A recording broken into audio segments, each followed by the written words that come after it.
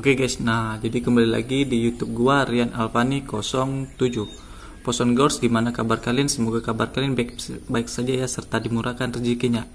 Amin guys. Oke guys, nah jadi di sini gua mau kasih sedikit tutorial ya guys ya di HP Realme atau Oppo dan Vivo ya guys ya. Jika memori internal kalian itu 2 GB, kalian harus memindahkan aplikasi ke kartu memori eksternal guys ya. Nah jadi ini gua mau kasih tutorial ke kalian ya guys ya. Ini gua memakai HP Realme C2 guys. Dan HP Oppo atau Vivo itu sama aja ya guys ya. Nah langkahnya itu kita harus ke setting ya guys ya.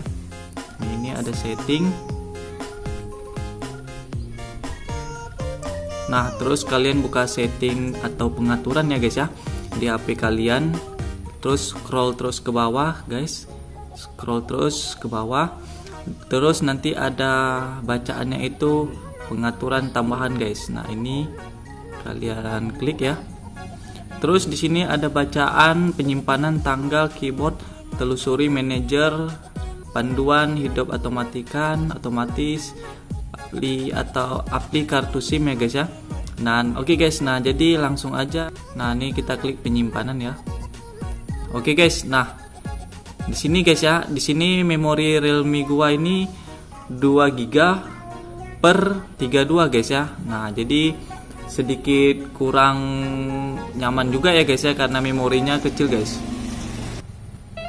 Nah, oke okay guys. Jadi langsung aja kita pindahkan ya.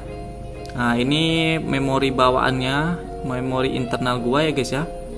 Nah, sudah terpakai itu 7 GB guys, nih.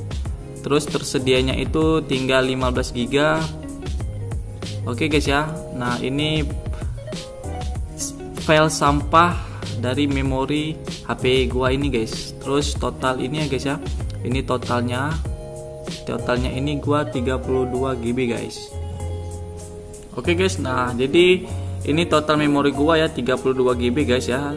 Oke guys, langsung aja kita klik ini yang pojok atas ini guys. Ini tanda seru ini ya. Bukan tanda seru sih tanda huruf I itu ya guys ya. Pojok sebelah kanan. Oke guys. Nah jadi kalian tinggal pindahkan ke kartu XD guys. Ini dia ya. Ini tinggal kalian klik saja. Oke guys. Jadi di sini ada bacaannya Oke okay guys, nah ini ada bacaannya mulai transfer guys. Nih.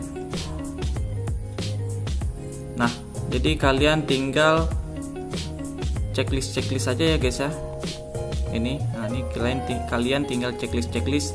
Jadi kebetulan gua sudah memindahkan aplikasi dari HP ini ke kartu XD gua guys. Jadi tinggal kalian pindahkan aja. Oke okay guys, nah jadi fungsinya ini kalian harus memiliki, kalian harus mendownload aplikasinya lagi guys ya. Karena kalau aplikasi yang kalian install dari Play Store ini tidak bisa dipindahkan ke kartu XD guys. Kalau kalian yang download file itu di dokumen atau di Google ya guys ya, kalian bisa memindahkan file itu ke kartu XD guys. Nah itu ya guys ya. Nah itu dia guys. Jadi sedikit gua kasih cara memindahkan aplikasi ke kartu XD guys ya. Jadi itu sampai di sini dulu video gua guys. Jangan lupa kalian like kalau kalian suka dengan video ini serta kalian share ke teman kalian.